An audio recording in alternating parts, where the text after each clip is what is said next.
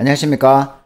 비트코인 백서 꼼꼼한 리뷰 제4장 자급 증명에 대해서 알아보도록 하겠습니다. 이 논문에서 가장 중요한 파트입니다. 자급 증명 Proof of the Work 어. 이것만 이해하면 어, 비트코인의 50%를 이해했다고 할 수 있습니다. 자, to implement a distributed timestamp server 지난 시간에 했는 거죠. 그죠? 분산 타임스탬프 서버를 구현하기 위해서는 on a P2P, P2P base uh, we will need to use a proof of work system similar to Adambeck's hashcash rather than newspaper or Usenet post. 그러니까 신문이나 어, 유즈넷 혹은 이제 뭐 페이스북처럼 이렇게 뭐 이런 거래 사실을 다 뿌리는 요 방법을 사용할 때 이 아담백이라는 사람이 만든 해시캐시라는 게 있었는데 이때 이제 여기에 자급 증명이라는 거를 어, 도입을 했다는 거죠. 그래서 그거를 비트코인에 도입하겠다는 건데 이거는 이제 어, 이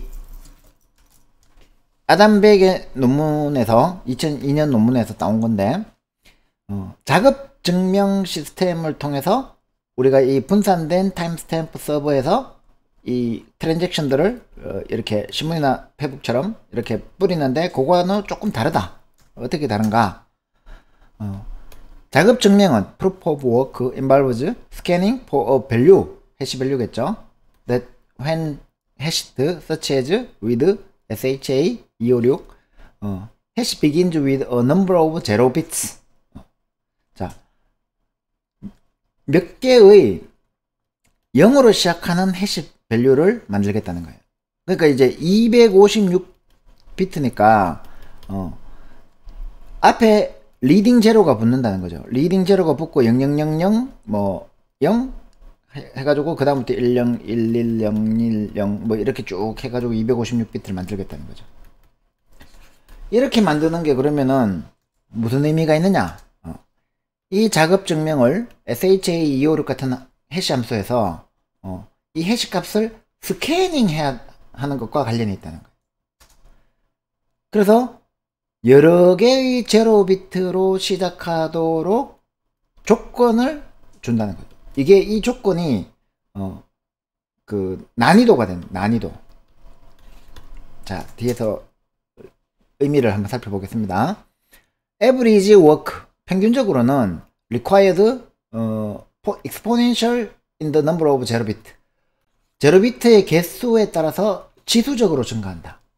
어, can be verified by executing a single hash. 해싱으로 알아내는 데 있어서. 왜냐면 이 제로비트로 시작하는 비트 자 000, 뭐 3725, 2548 이런, 게 있다고 칩시다. 그럼 내가 해싱을 했는데 000이 나오도록 해싱을 하려면 어떻게 해야 거죠. 이 거꾸로 해싱하면 거꾸로는 값을 알 수 없습니다. 그죠? 그러니까 어떤 내가 x가 주어지면 이 해시 x를 했는 것이 이, 이 값이 요 0이 3개가 나오려면 이 x 값을 다 해봐야 돼요. 그죠? 이게 스캐닝이라고 치면 어. x 값을 다 try 해봐야 이 hx 값이 0이 몇 개인지 알 수 있습니다. 그죠? 자, 그러면은 이 이제 지, 지수적인 시간이 걸린다는 게 자, 0을 0이 한 개 나오는 거를 찾아봐라. 이러면은 앞에 이게 0이거나 1이거나 그렇겠죠 그죠? 그런데 00이 나오는 거를 찾아봐라 그러면은. 000이 나오는 걸 찾아봐라 그러면. 0000이 나오는 걸 찾아봐라. 이게 그거 처음에 어려운 난이 어려움이 1이라면 요거는 이제 두 배로 어려워지고 이거는 또 두 배로 어려워지니까 네 배로 어려워지고 이거는 8배로 어려워지고 이거는 16배로 어려워지고 이렇게 지수적으로 증가한다는 거죠. 어려움이. 자, 그래서 이제 for our timestamp network, we implement proof of work. 작업 증명을 incrementing a nonce, nonce라는 말이 나옵니다. 이 nonce in the block. 블락에다가 nonce를 내가 집어넣겠다. until a value is found that gives the block hash the required 0 bit. 즉 내가 원래 사용하려고 하는 이 x 값하고 요 난스 값을 더 더해 가지고 요걸 가지고 해싱을 했을 때 해시 x 플러스 난스죠 그죠 어. 요 값이 leading zero가 나오도록 이렇게 만들겠다라는 거예요 그래서 block에다가 어, nonce 값을 포함시키면은 요 nonce 값이 얼마냐에 따라서 어, 요 hash 값을 앞에 0의 개수가 결정된다는 거죠. 자, 이 이제 블록에 포함시키는 요 nonce 값이 어, 떤 역할을 하느냐. 어, 제로 비트의 개수와 맞을 때까지 찾도록 만드는 어떤 퀴즈 역할을 한다. 그래서 이거를 우리가 해시 퍼즐이라고 합니다. 그러면은 이 난스 값을 어떻게 찾느냐? 대입해 보는 수밖에 없어요. 난스를 난스 이퀄 0, 난스 이퀄 1, 2, 1 쭉 대입해 보는 수밖에 없어요. 그러니까 계속 그 이 난스 값을 계속 대입해 가지고 결국은 내가 원하는 조건을 만족하는 이 해시 값을 찾으려고 하니까 이 CPU가 어떻게 됩니까? 어, CPU effort has been expanded to make it satisfy the proof of work. 이 해시 퍼즐을 푸는 작업 증명을 만족시킬 때까지 CPU 파워를 써야 된다. The block can, cannot be changed without redoing the work. 이 proof of work를 계속 하, 다시 하지 않는 이상은 요렇게 요렇게 요렇게 붙었어요.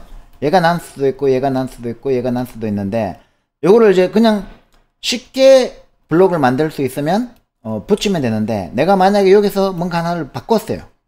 그러면은 요 해시 값이 달라졌으니까 다시 이 블록을 만들어야 되겠죠.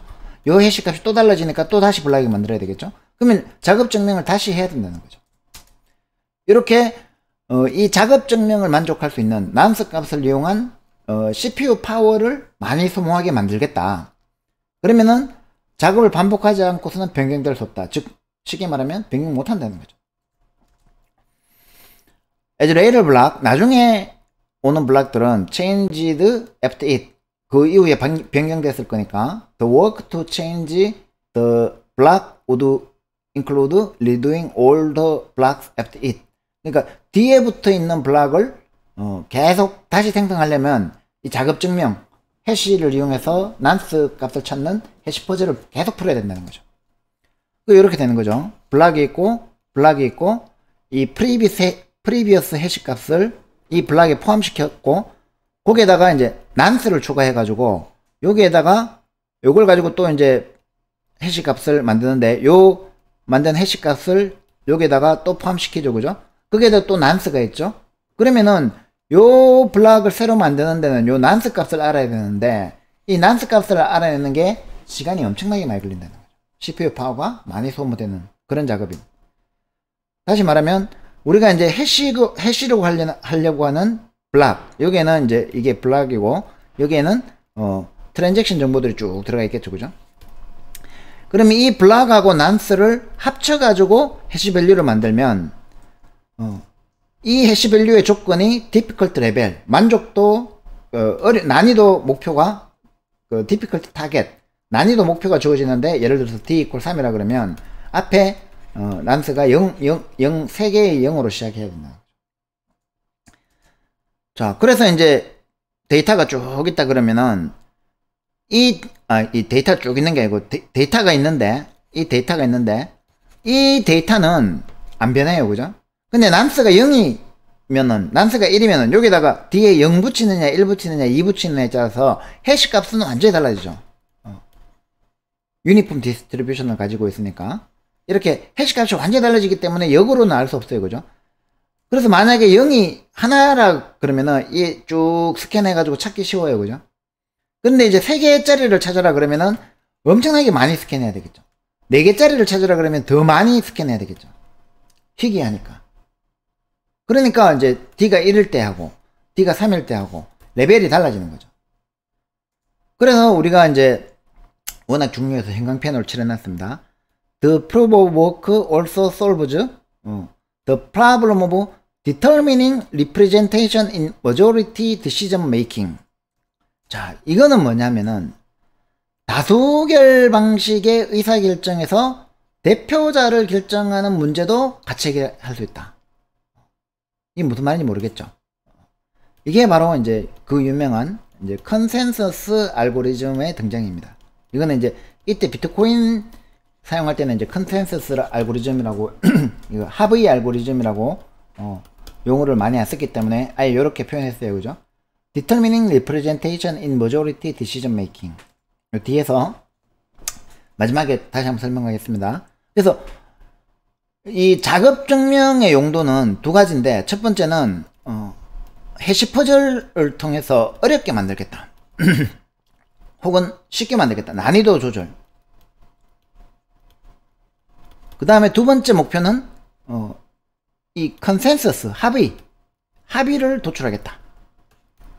무슨 뜻이냐면 어, majority were based on one IP address 우리가 IP 기반으로 one vote 투표를 하게 되면 어, subverted by anyone able to allocate many IPs IP 주소를 많이 할당할 수 있는 그런 어떤 사람이 이 시스템 전체를 장악할 수 있겠죠. 그죠? 그래서 하나의 IP 주소상 하나의 투표권을 가지게 하는 방식하고 어, 그 이제 그 방식으로는 안 된다는 거죠.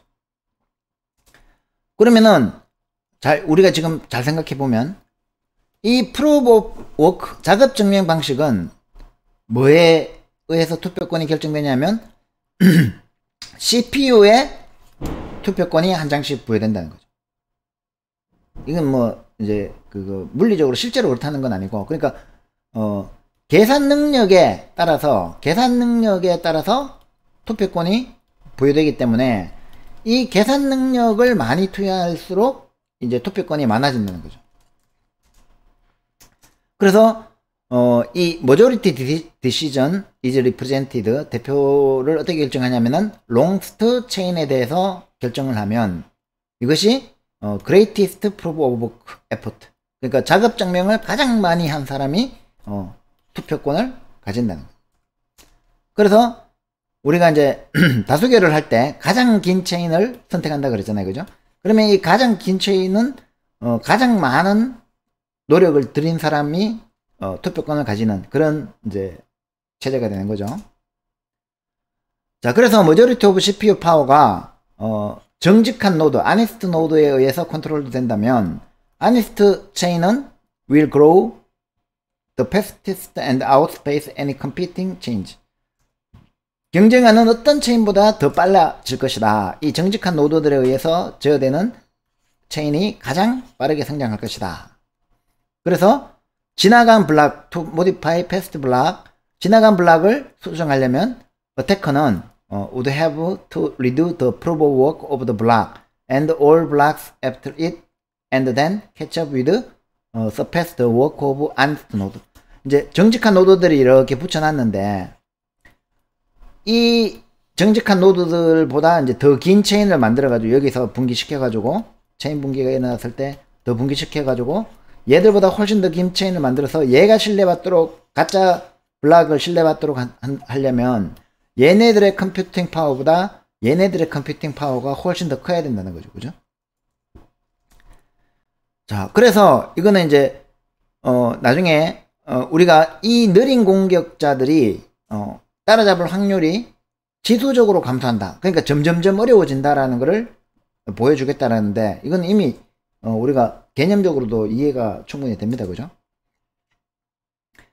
자, 그래서 지금 이제 사장에서는 작업 증명이라는 걸 설명하고 있었는데, 그러니까, 어, proof of work. 이 작업 증명은 아담 백이 2002년 논문에서 이미 해시캐시, 해시캐시라는 데서 도입을 했다는 거예요. 그죠? 그럼 뭐가 비트코인을 빛나게 했느냐? 어. 이 해시캐시에서도, 해시캐시에서도 해결하지 못했던 문제, 합의 문제를 해결했다는 거죠. 비잔틴 장군 문제. 비잔틴, 비잔티움 혹은 Byzantine Generals Problem이라고 합니다. BGP 문제라고 하는데 이 비잔틴 장군 문제에 대한 완벽한 해법이 되는 거죠. nonce를 추가해 가지고 이 nonce를 가지고 해시 해싱하는 이 난이도를 조절함으로 인해 가지고 어, 이 난이도 목표를 가지고 어, 비잔틴 장군 문제를 해결했어요. 이 비잔틴 장군 문제는 뭐냐면은 자, 이런 적군이 있는데 이 적군을 우리가 그 이렇게 비잔틴 장군들이 제너럴 비잔틴 제너럴들이 어 이렇게 공격을 해야 됩니다. 근데 이 비잔틴 제너럴들은 서로 이렇게 메시지 패싱으로 서로 의사소통을 해요. 이렇게 이렇게 이렇게 이렇게 어, 이렇게 자 그래가지고 여기 이제 이 성을 함락하려면 300명이 공격하면 돼요. 근데 각각 100명, 100명, 100명, 100명, 100명, 500명 있어요. 그래가지고 이 다섯 명 중에서 세 명만 공격을 해도 어, 이 성을 함락할 수 있어요. 자 그런데 여기 배신자가 한 명 있어요. 배신자, 나쁜 놈. 어, 그러면은 이 배신자가 어, 공격을 안 할 거잖아요. 후퇴를 해버릴 거잖아요. 그럼 나머지 4명이 공격하니까 400명이니까 충분히 함락할 수 있겠죠.